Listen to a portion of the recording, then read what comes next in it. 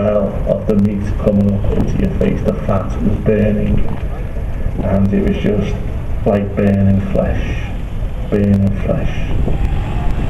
Being a chef, and being cooking with food, I couldn't go in that kitchen and cook on a grill. Uh, I used to get, I used to, I was the butcher, I had to do all the meat, and I couldn't cook on that grill.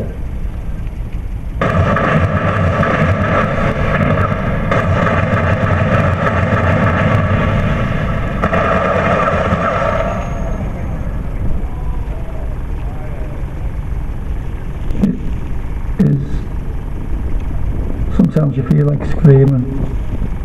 There's something we are here. Don't leave us alone, we are here. We need help, so.